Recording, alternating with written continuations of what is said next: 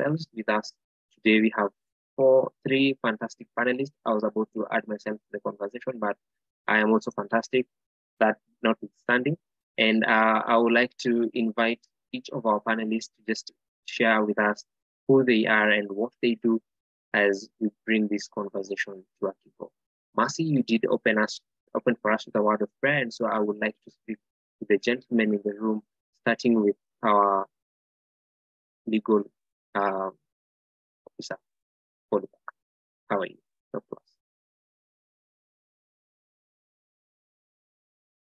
Uh, my name is Agoy Polycarp.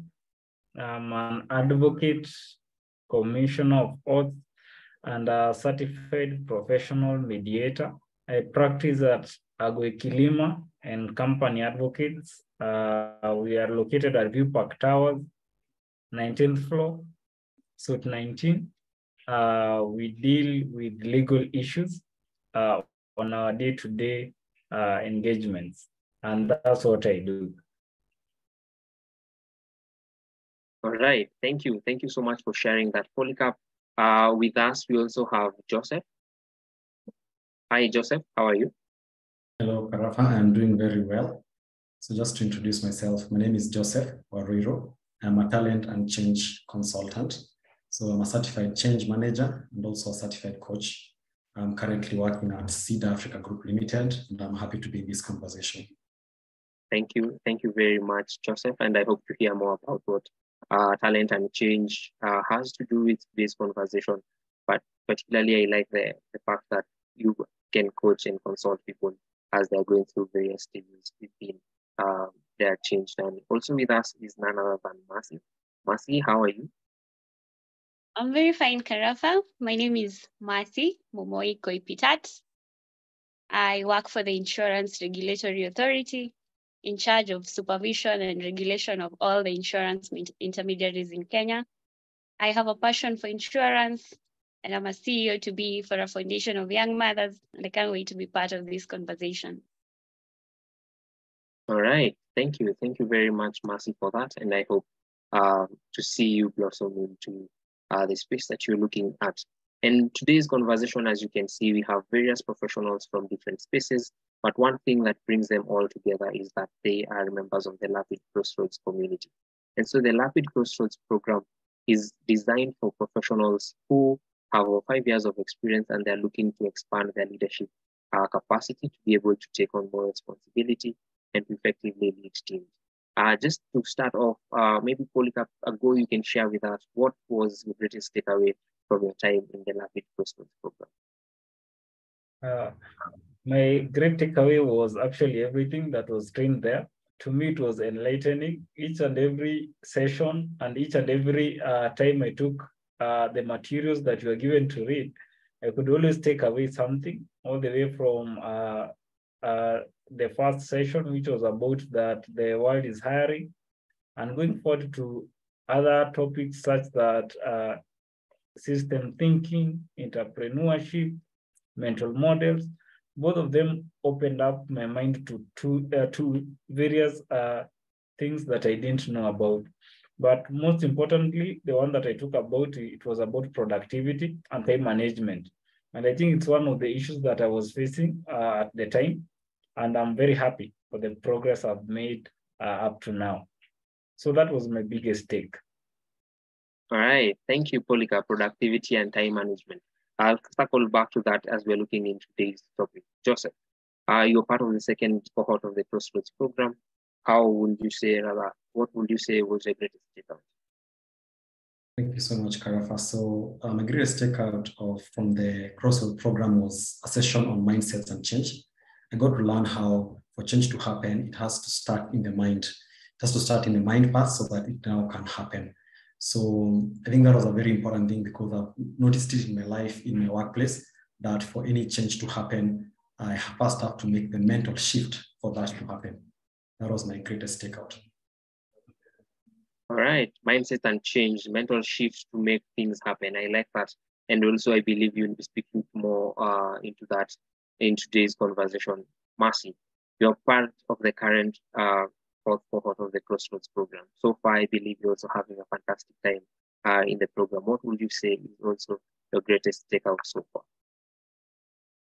First, I will start by saying I think this is the greatest thing that I have come across this year.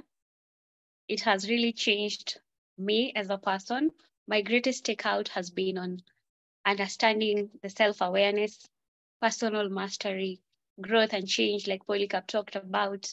I do not navigate with fear anymore. I understand myself, I know my strengths, and I'm ready to face the world.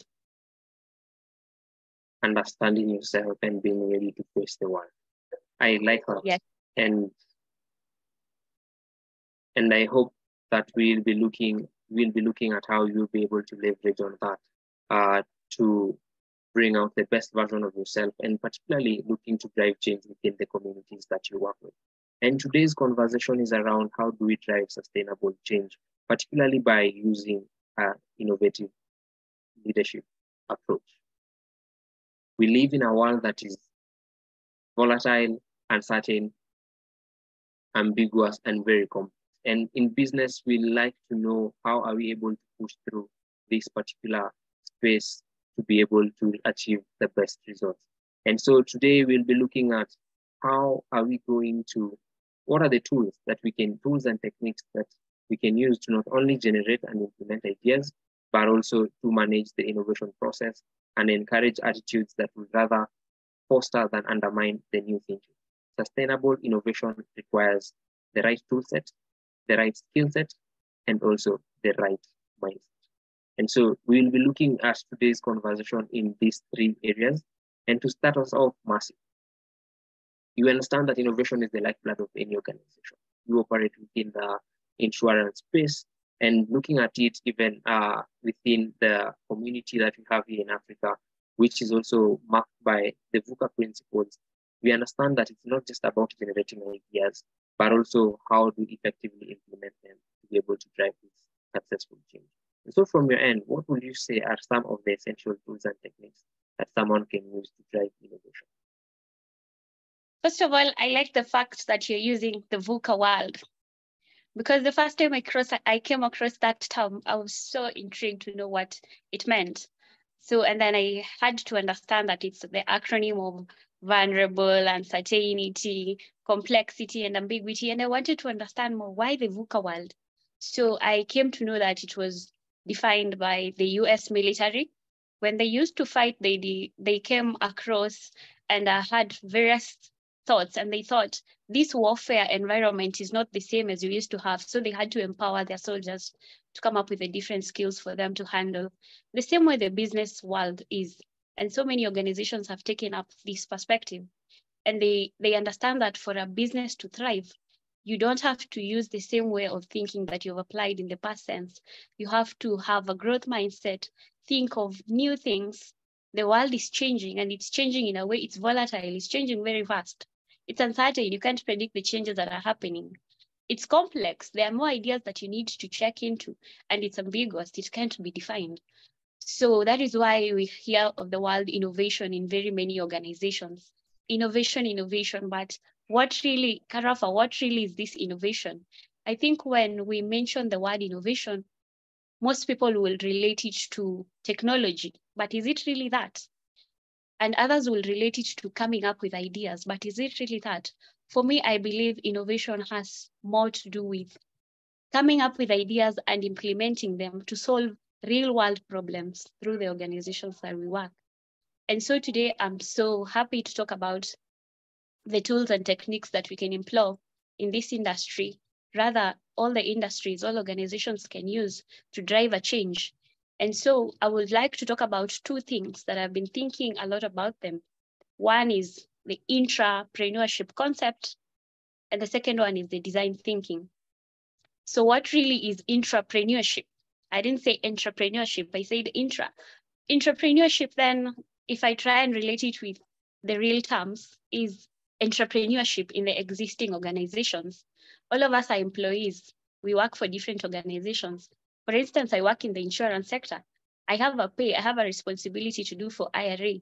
But what is it that I can be allowed to think like a business owner, come up with ideas, skills that will help the organization face its goals and at the same time bring a change to the society.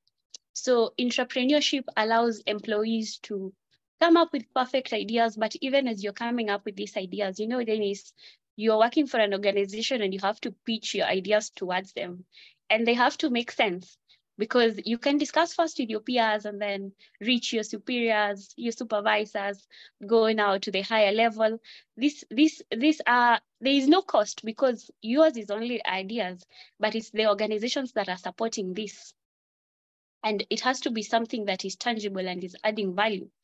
So with entrepreneurship, which I know most of us has tried, then I know so many people, this is what usually happen in the market nowadays people are so driven by AI, technologies coming up, and then you tend to look at it from the perspective of an expert. You say, I'm an insurance expert. This is technology. I'm thinking of, for my case, I'm in the insurance sector. I'm thinking of products and all in all, I, I come up with ideas, I develop products and I want to pitch them off. But I think the mistake we make is that we do not really analyze for me to be innovative, for me to drive that change? Are these products that I'm coming up with really solving the problem? And now there comes my point of design thinking. I'm sure if you're in the business world or whichever organization you work for, you have come along this term, but what really is design thinking? There are so many processes that you can use to face the innovation and to approach the innovation, but I would prefer design thinking because design thinking is an, an approach that comes from the human perspective. It's a combination of philosophy and necessary tools that can help you be creative when you're coming up with those solutions to face the world. So design thinking is like taking a human lens and try to view it, view the problems from a human lens. So it has very many processes and uh, maybe I can like to define more about it. About it. The first process is empathize. Look at me in my situation, insurance sector. Insurance penetration has been at 3% for a very long time. Maybe I blame Africans, maybe we blame ourselves, but Africans don't look at insurance as something that is a basic tool. Yeah, what are we going to do to change this 3% narrative? So look at it this way, you have to empathize.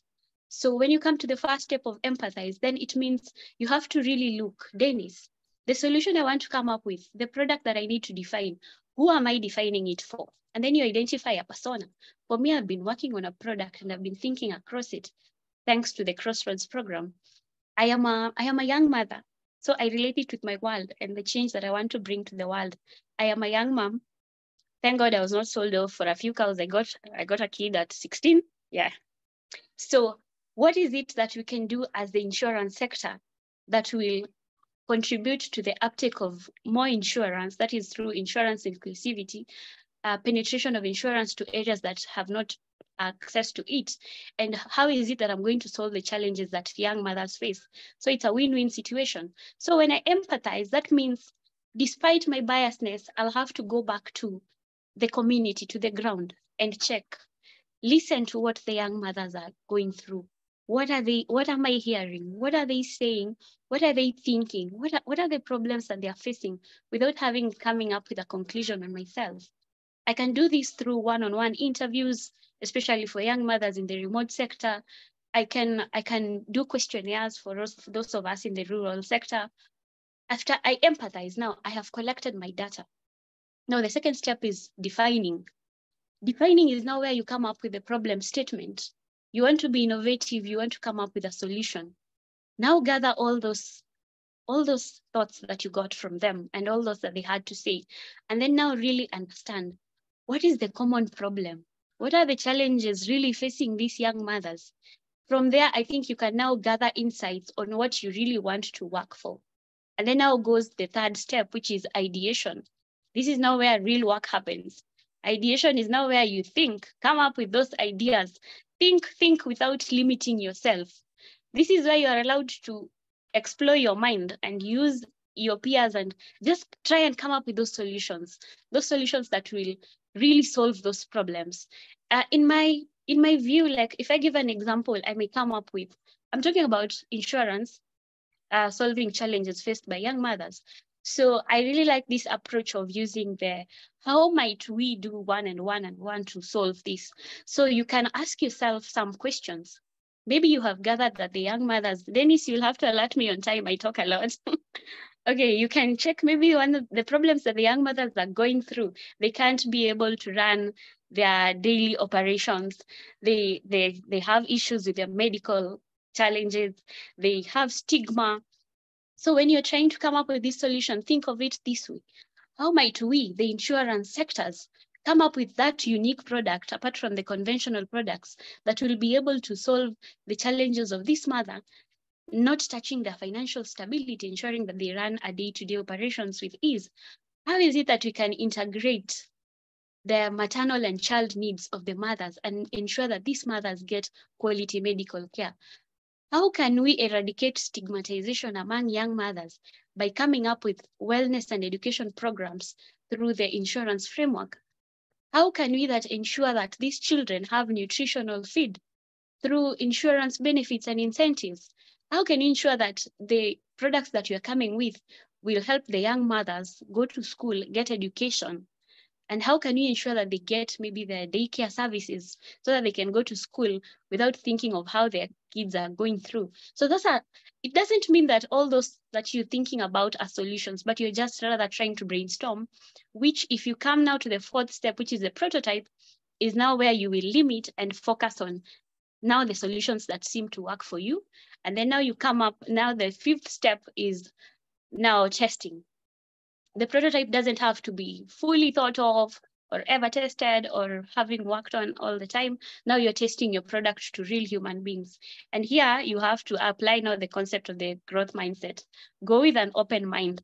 Is the product I am coming with, is it really giving real solution? Accept feedback. So when you accept feedback, you're gathering more insights. And when you gather more insight, it means that you may need to go back to the second step, which was the define. So you may tend to understand that the design thinking process is not a linear process. It's rather more of a cycle. Go and redefine your problem statement, come up with more ideas, try, try, try until you get that unique product that will solve the, the problem that you want to solve. And then uh, maybe if I finalize, I can talk more of thinking traps. The last few weeks I've been having this discussion and I did a blog on LinkedIn on thinking traps. What are these exactly? it's human for us to be very positive and want to come up with change. We want to be innovators, we want to drive change. But it is so human for us to have these negative thoughts. It's a pattern of negative thoughts. They're also called the thinking errors that come through your mind and tell you, Dennis, this one, it may be a bit difficult. There are five common thinking traps. One is called the mind reading. There's the me trap, the them trap, there's the catastrophizing, and there's that uh, last one that is called the helplessness trap. Let me relate it to what I've been discussing about. Mind reading, for instance, I have come up with that idea. I have discussed with my peers. I'm now going to pitch to my supervisor. Then my supervisor does a positive, a constructive criticism about the product. You may be tempted to think, oh my God, she doesn't like it, and that's the end of it. Kill your ideas at that step. The other one is the me trap innovation is not easy. Coming up with products are not easy. You may come up with products that are not fitting the market so many times. So it's easy for you to give up and blame yourself. Them trap. You may get along the way and then you find it's not working and then you start saying it's because of my CEO, Karafa. Karafa did not do one, two, three. It's easy to blame others. The fourth one is uh, catastrophizing. Your, your ideas have gone through so many processes and now they're at the top management level and then they get there and maybe you're given a feedback like we will think about it we shall review and get back to you. And that is the trap where you tend to think of the worst case scenario oh my god that one is never working. And uh, you, you can it's easy it's very easy to kill your innovation at that process. The fifth one is the helplessness trap where most of us are. Insurance is at 3% so it is in kenya it has been there for the longest time ever. What do I have to do with the 3%? There is nothing that can be done, and absolutely, I can't do anything towards it. If we go that route, then we shall never find a solution. The other way is to think young mothers, they got themselves there. What does that got to do with me? I'm lucky, I'm supposed to be here. No. So, yeah, I think I'm done, and it was very nice having this discussion. And I hope I haven't exceeded the time, but also my takeaway is as we think of the innovative solutions, let, let's not let's not go back. Make sure that the time you are on this world, you have made a positive change towards something. Thank you. Right, thank you, Mercy, for that. Uh, you've covered quite a bit, and from my side, I've had entrepreneurship, I've had design thinking, I've had something around growth mindset and how we can be aware and build our awareness around the thinking traps that will enable us, rather that will hamper us to be able to uh, drive innovative solutions. I like the, the fact that the design thinking approach is also very cyclic. So I do not need to go on a one linear way. I can empathize as I ideate, as I prototype. And I believe this is something that is also very, very practical. And I hope that members of the audience will be able to see this uh, as they try to look into how they can use this particular tool to drive the changes that they're looking for.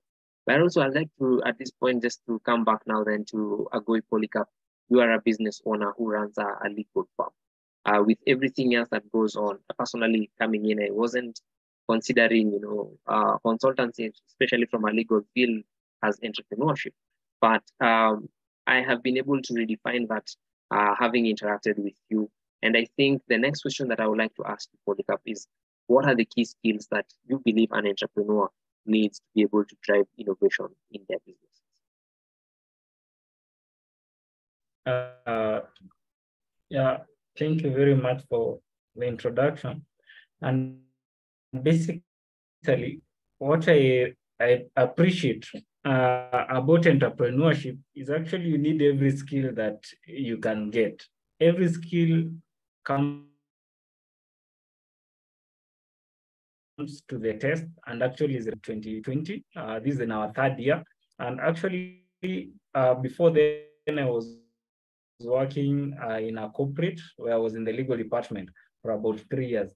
And actually, both areas, both uh, as an employee and also as an entrepreneur, actually, the skills that I learned at my start as a legal professional, some of them I still carry them up to now as an entrepreneurship, as an entrepreneur. And therefore, I believe as an entrepreneur, you need all the skills that you can get. May it be even drawing well, is it proper communication? All skills can, can be used as an entrepreneur. However, based on today's topic and also my profession, and also based on my personal experience, I'd like to touch specifically on two skills, uh, which is uh, generally networking and collaboration and also I'll talk about uh, system thinking as a skill that an entrepreneur uh, needs. And also I'll also uh, borrow so much from what I learned during my program, Crossroad, where both skills were profoundly explained and also expanded. And we were given practical exam examples on how to utilize it. Now on networking and uh, collaboration, is, as lawyers, of course, definitely our area of practice in the last, I think, three years has undergone tremendous uh, changes, especially in terms of technology. Actually, uh, since COVID, I think we are the, the, some of the best beneficiaries in terms of technology. Nowadays, we do our court matters while seated here in, in our offices. A uh, long time, you had to travel and physically go to court. Nowadays, like today, me, I had like three matters which I've handled while just in my office. One matter was in uh, in Nyeri, another one was in Thika, and another one was here in Nairobi.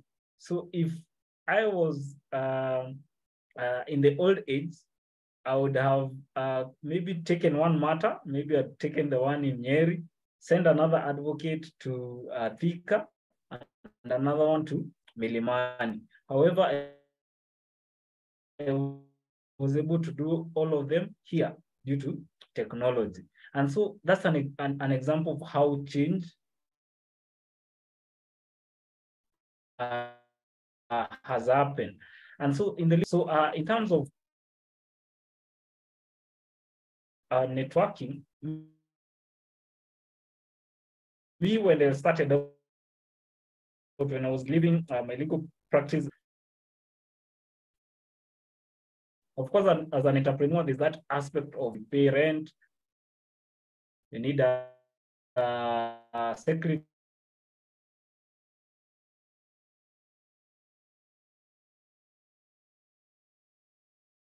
print, you need a table. They had I had a friend who had initially started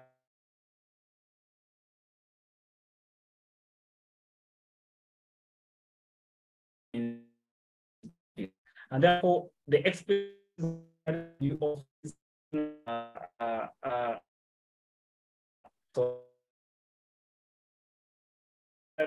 all those things cost tremendously cut to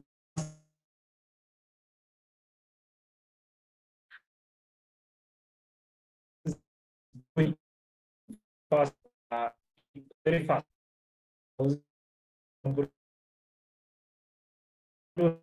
Uh, and I would be able to use this.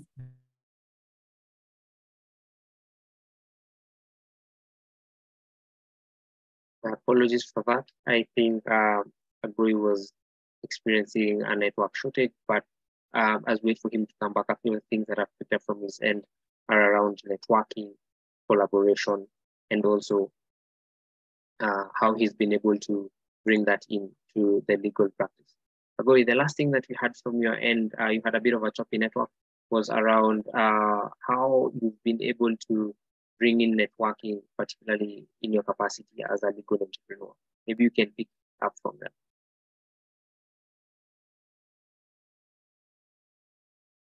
Yes. So uh, that yes, uh, yes. Uh, thank you very much. I think there was a connectivity challenge. Apologies. And uh, of course, networking and collaboration truly helped me towards that end. Now, while I was doing the crossroad, I was able to enhance this particular that I was able to look at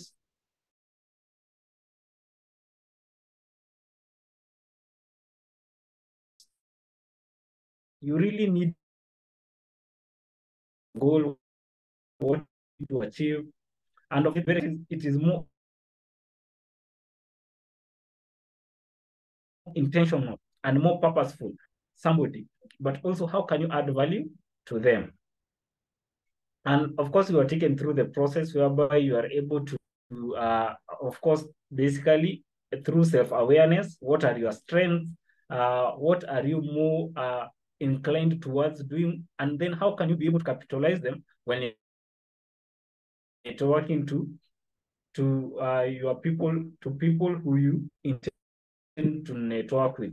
And then secondly, there was that aspect of identifying the people who you need to network with. Which are the group, which are the individuals, which are the organization do you want to network with or even collaborate with? So that by the end of the day, they can be able to build uh, you from you from your end, and also you, you can be able to leverage from their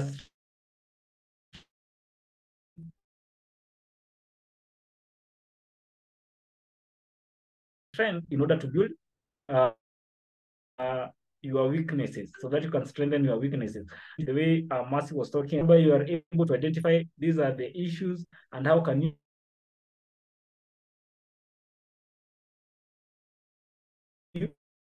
strengthen them in your in one way or another. So basically, identify, I'm able to analyze and also the people I'm able to network. And therefore, I can be able to enhance beneficial. It builds an aspect whereby it's more sustainable and also it's more long term because somebody will not feel as if you are just a burden to them, but also you are adding value to them. And therefore, I'm able to do that.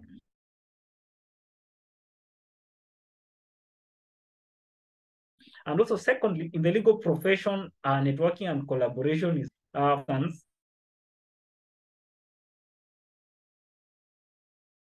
If a lawyer, an advocate, uh,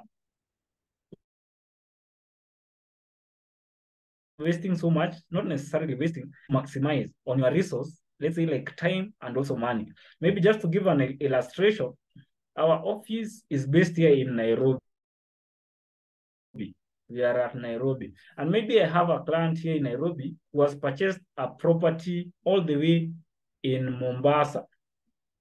And so he wants me to do a due diligence on that property. In real sense, maybe I'll take that property, he give me a copy of his title and his documents, and take maybe um, a, a bus or maybe uh, a SGR. Travel all the whole day, all the way to Mombasa, reach maybe in the evening, so the day is done. The next day, uh, I wake up very early, I go to the land office and do a land search. Then once I maybe they tell me it will take a day or maybe two, and then I have to spend time there and then come back with the land search. But if you are able to network and collaborate in a in a very mutual way, maybe you can make a call somewhere there in, to a colleague uh, in in Mombasa. You call them, and you are able to agree on how they can assist you to do the search well in Mombasa. Therefore, you have saved your time and also your your cost because you don't need to travel, you don't need to book uh, accommodation there. And it has an effect whereby you reduce your cost to yourself and also to reduce the cost to your client. And therefore you'll be, be able to pull in more clients because you have, you charge less because you have found, uh, you have utilized your networks and your collaboration. And also you'll be doing it in a more timeful way. Because as my friend is doing my search or my due diligence in Mombasa, I'm able to concentrate in other work in Nairobi. And that's an example of the power of networking and collaboration and how it can be able to be utilized. Of course, you can look it even in a higher level whereby you can collaborate with other lawyers on legal issues and come up with new ideas. As long as we are not monopoly uh, of knowledge, in as much as we call ourselves the learned friends, eh? but we are able to collaborate with people from different areas, our fellow colleagues. Maybe we know this particular lawyer is good in this particular matter, and then we are able to exchange ideas. And when we meet our clients, we are able, we are well armed with the knowledge and skills. And of course, ultimately, we are called the learned friends because we came with uh, a lot of resources. So those are uh, examples of how collaboration and networking are in, essential in entrepreneurship and at least as far as I'm concerned, for a lawyer because it's able to give you for uh, a, uh, a, uh, a, field of more uh, a pool of expertise. You are able to cut on your cost, and you're able at least to sustain yourself. And also, lastly, maybe before I, I I finalize on that issue of networking and collaboration, there's that issue of professional growth as lawyers because laws continuously change each and every day, and of course, you have to keep base of what's going growing in the legal profession, uh, what's new, and this is something that happens in everyday life uh, of a lawyer. Therefore, by networking and collaborating, we are able to go into circles whereby such discussions are going, whereby you meet people who are in different professions, and therefore you are able to learn. Therefore, to me, as a legal profession, and maybe other people who uh, uh, are in a similar profession like me, or maybe are inclined to a profession that's similar to me.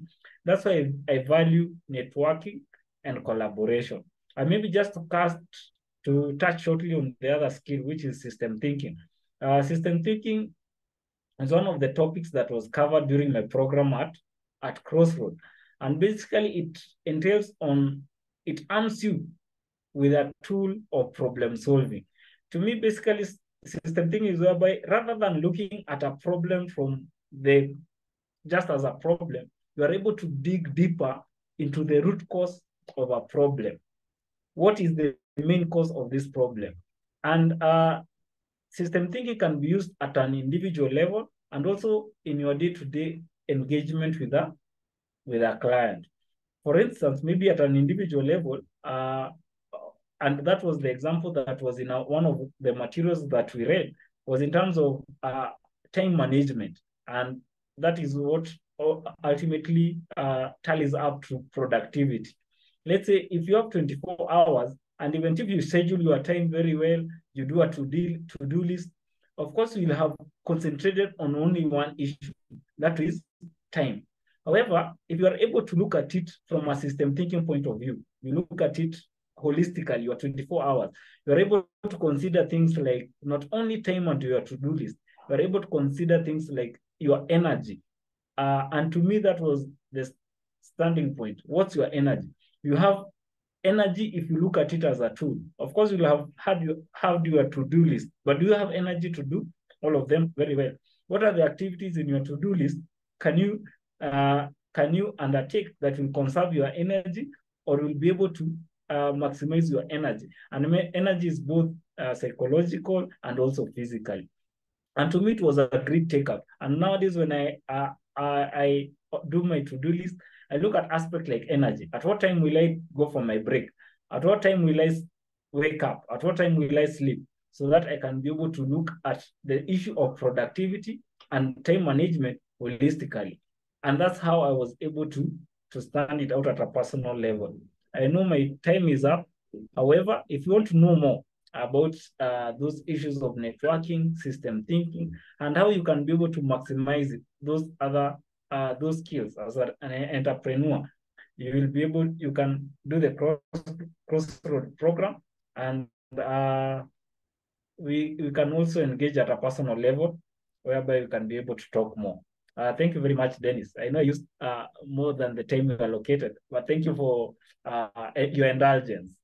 Thank you. Thank you, Agoi. Uh, you've shared quite a bit The Key things that are stood out for me are around networking, collaboration, and how you've used that to strategically position yourself, even as a business owner and uh, someone who's in charge of driving the operations within your business, to be able to have access to vast opportunities not uh, withstanding the fact that you're in only a single location. You've been able to reach businesses uh, in the coastal region and any other spaces while you're still there. Also, the fact that you're able to even attend to your court matters that will be ideally, you know, see you move across various counties while still in the office just speaks to the fact that you know how to leverage technology to be able to do this. As an industry, I believe that is also a leg up because then that has given many people access to the legal services that are, uh, are need in this society. We've also mentioned around systems thinking. How do we be, how do we approach problem solving from a long-term perspective? It's not just about solving the problem here and now. Some of the things that are uh, problems that need us to solve require us to truly understand where we're coming from. And I can just tie that into what Mercy shared at the beginning of the conversation around design thinking even as you go through that particular process, how do you come up with solutions that actually respond to the core of the challenges that you are trying to face? Thank you so much, Agoi, for sharing those insights. They have been truly valuable. And lastly, but not least, I would like to bring in Joseph Arroyo into the conversation. Joseph, your expertise in talent and change consultancy uniquely positions you to speak to this last pillar of innovative leadership, which is around building an innovator's mindset. To kick us off, a question for you. Why do you think it is important for us to have an innovation Okay, thank you so much, Karafa, for the opportunity to share. So just to also recap what uh, the previous speakers have talked about, we are in a VUCA generation. So this means that things are rapidly changing. Uh, also, the amount of problems that we have both as a society, in the organization, those problems are not reducing, they are actually increasing. And even in situations where we have solutions to those problems, sometimes we lack localized solutions.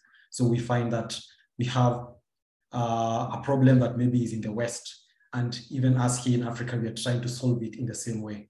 But in true sense, we have different kind of problems that need different kind of solutions.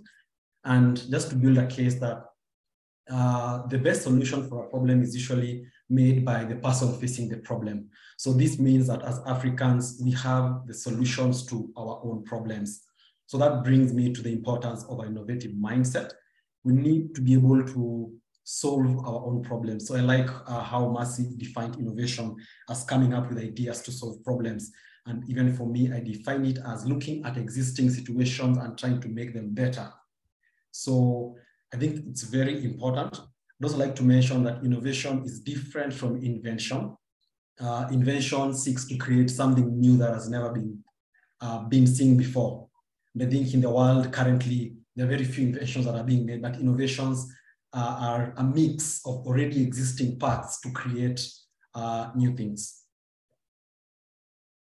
All right, uh, thank you for that. And I believe innovation versus invention is one of those differences that might uh, stop people from trying to adopt an innovator, an innovator's mindset. Saying yeah. this has already been done. What am I supposed to do then? But also not just building up on that.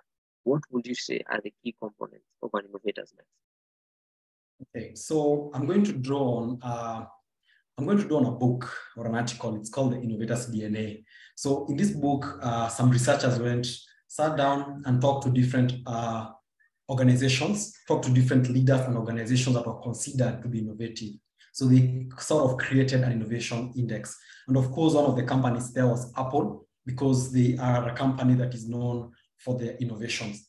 And before I go far, I'd like to also reiterate what Mercy had mentioned that there are different kinds of innovation. When you think of innovation, you think technology, but there's process innovation, product innovation, service innovation. It can be divided into so many parts.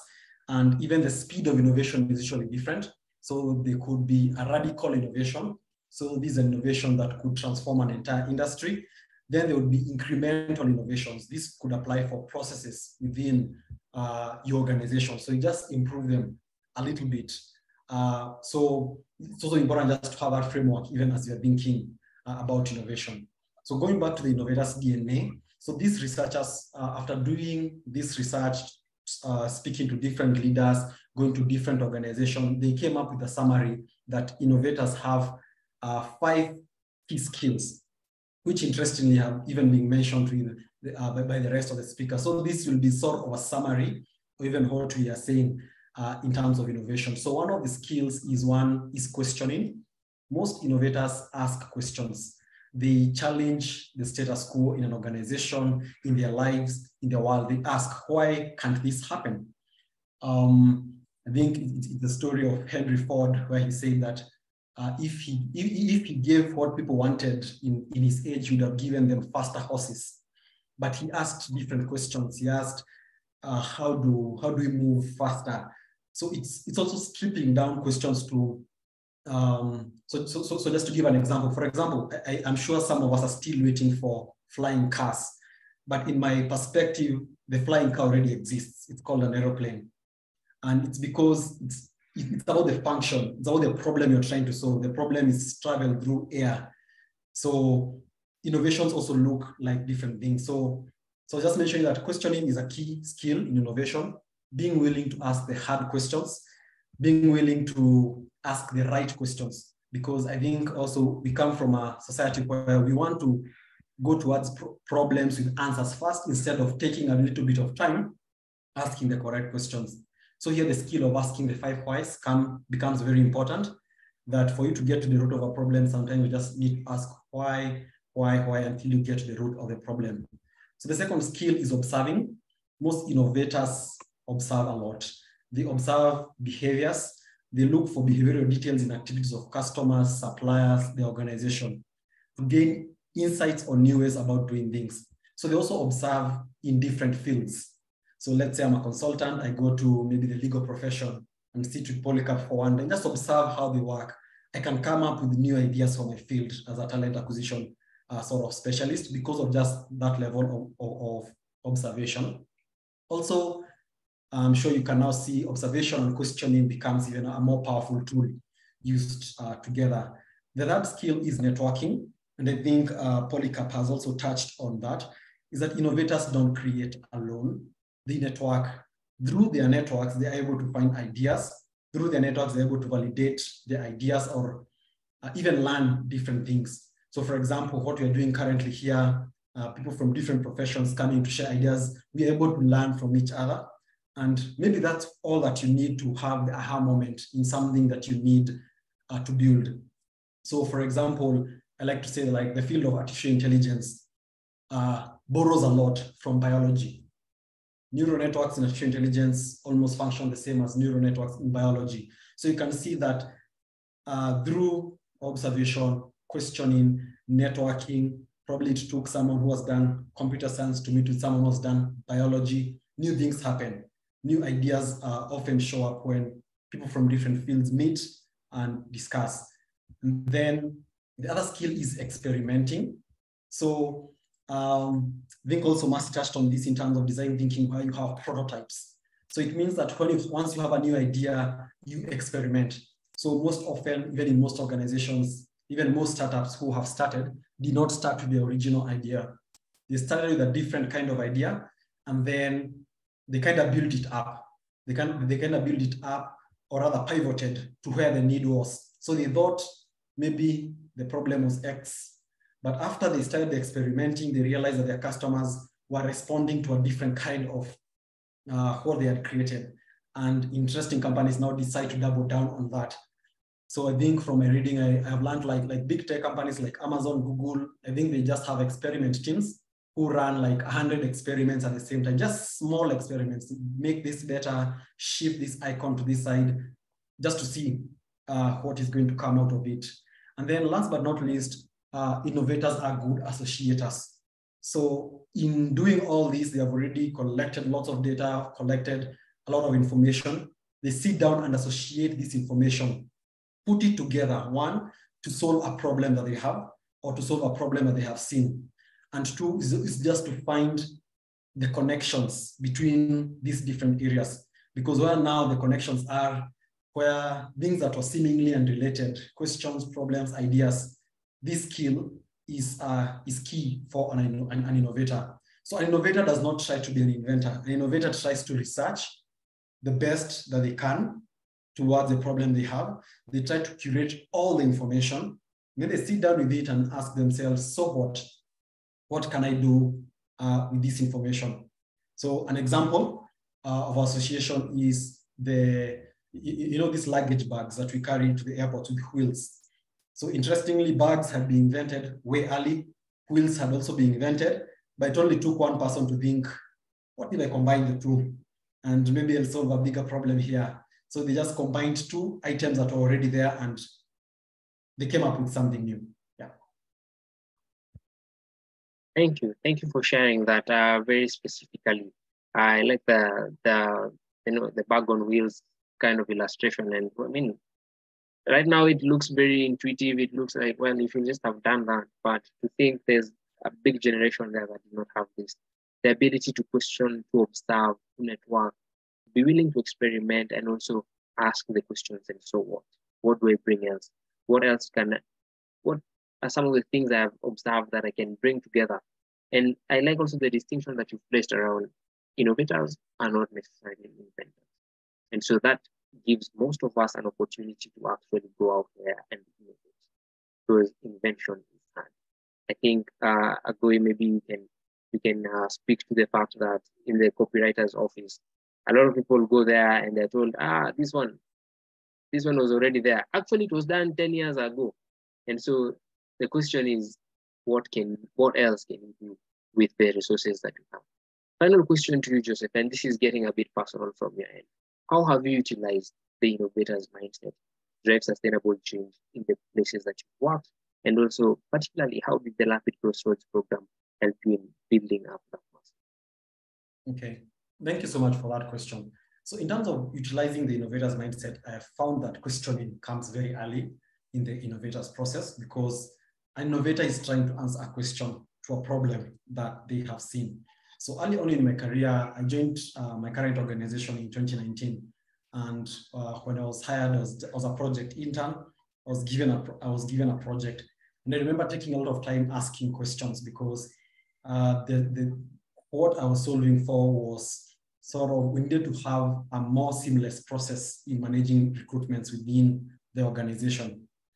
And I think what I asked so I, I, asked several questions. So what are we solving for? What is the problem? So some of the problems were we cannot uh, retrieve applications fast enough, not able to search for applications fast enough, not able to communicate to candidates fast enough. And having a list of those problems and also just observing the current process. Because remember that innovation comes to already a process that exists. The problem you're trying to solve is already being solved with a different in, in, a different method. So you need to appreciate how everybody is used to solving that problem. Uh, so I think after that observation, I decided that uh, I, I, tried a bit of solutions. So uh, my background, my background is in computer science. So I, I tried to create some solutions, some customized solutions, but I, they, they, did, they, they did not work. They answered the question, they answered some questions, they did not answer some questions. So uh, part of it, I did some networking. I started talking to people. What do what do recruitment companies use to solve such problems? Because something I've learned is that if you have a, plot, a problem is you, you're not the only one with the problem. I think I, have learned that from my background in, in computing or programming. If you have a problem, someone else had it and solved it. So find them so that you can also solve uh, your problem. So that way I was able to realize that there are actually tools called applicant tracking system that can be from off the shelf or customized. And so in a sense, I used that route now to research more. Uh, so I opened up my research, tried to find every possible solution to the problem. And eventually I was able to come up with a solution to the problem that we, that, that we were facing. So that's how been able to use all those skills, observation, questioning, association, networking, just to be able to come up with a solution within the workplace. So in terms of how the Crossroads program has impacted me, I think the Crossroads program opened me up to, uh, it opened me up to thinking at a different level. So remember those are, um, I may not remember the exact term, but in today's world where there are multiple polarities, multiple views, uh, we find it very hard to hold two opposing ideas at the same time. We find it hard to we, we find it easy to pick a side instead of battling with ideas that seem to be contradicting. And I think I've come to learn that in life, professionally, that most, the solution to most problems is not either or, it's both. It's and depending on the context. So I think that's a one key skill that I really learned from uh, Crossroads program. I had also talked about mindset earlier. I think it was very important for me because I, I learned that our brains have sort of neural pathways towards the habits that we have right now. And through information, through the change that we seek to make, we could, we, we could shift. I think we, we called it neuroplasticity, how your brain can really change how it thinks and how you do things. So I think that really helped me in terms of when I face challenges at work, I tell myself, maybe my brain is not ready right now. I need more information, I need more practice, and I'm going to be able to shift my thinking to face this problem in a better way. Fantastic insights there, Joseph. I like the fact that even as you're looking through the illustration that you've shared uh, in your own experience, I I picked that this is actually something that I can do on the day. You know, it, it, I, I, do not need it. I do not need to sit somewhere in a lab to be able, you know, uh, maybe to hire the big four consultancy firms to be able to do this. You said even as you're going through this particular challenge, you are at the inter, intern level within the organization that right now you serve as a team lead. Also with the background, you know, how do I bring the knowledge that I have to shape my perspectives in this particular problem? You drew quite a bit from your background in tech to be able to solve this particular issue within the talent management space. And I can talk to so much more that you have shared with us, but I know that we are running towards the close of this uh, session. And first and foremost to our audience, I apologize that this has been not been able to go live on LinkedIn. Uh, the stream broke at some point, but we are recording it and we'll be able to share a recording uh, via our YouTube channel. That being said, to Mercy, to Joseph, to Agoi, thank you very much for showing us what are the tools, what are the skills, and what is the mindset that we need to be able to drive change as innovators, as innovators, not, not, only, not only innovators, but leaders who embody an innovation mindset. And today's conversation has been drawn from some of the modules that have been covered within the Crossroads program, as you've heard from our panelists. And so if you're a professional keen on driving change in your organization, keen on creating a culture of high performance in yourself and in your team, as you've heard from Agoi, then you should sign up for the Crossroads program with our September intake kicking off at the 2nd of September. You can get started by completing the application form that we shall be sharing uh, within our social media spaces. And to summarize out, we've been able to explore the various tools, the skill sets, the mindsets that are necessary for us to be able to drive change within organizations to enable us to sustain our businesses in a volatile, uncertain, complex, and ambiguous business world. Remember, innovation is nothing but the bridge to a successful future. And with the right tools, with the right skills, and with the right mindset, we can navigate even the most challenging of landscapes. I want to express my gratitude to all our speakers, Maximo Moy, Agoi Polycarp, and Joseph Arroyo, for sharing their expertise in the various spaces that they work in and bringing those perspectives, helping us to foster innovation in the spaces that we currently serve. Thank you all for our audience for joining us in this very informative discussion. And I wish that you may stay strong, you may stay agile, keep innovating, stay curious, and embrace change. With that, I would like to wish you all a fantastic afternoon and a great weekend ahead. To our panelists, I'd like for us to unmute and wish our audience a good afternoon. Goodbye. Hello, everyone. okay, you can go. Okay, thank you, all of you who took your time to listen to us. We apologize for the LinkedIn breakdown, but that didn't stop us. We will share the YouTube uh, videos. And also for me, I think I'll be sharing more insights on the LinkedIn through the LinkedIn posts. My, I have discovered my purpose and I want to bring a change to the world. Thank you all. Thank you, Mercy. Joseph, closing remarks. Uh, I want to thank everyone who attended this session. Uh, and I'd also like to say that uh, also follow me on LinkedIn, follow me on Twitter for more insights. Thank you. Thank you, Joseph, for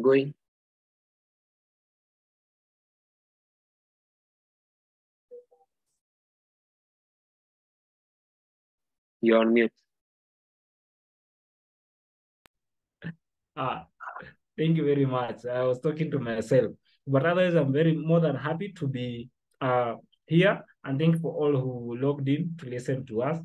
Uh, I look forward towards further engagement, and I hope you all sign so that we could we shall all meet at Crossroad program, at least when you join and when you graduate. Thank you, ladies and gentlemen. That brings us to the end of our session. I bid you all a farewell and a great weekend ahead. Feel free to drop off from the session.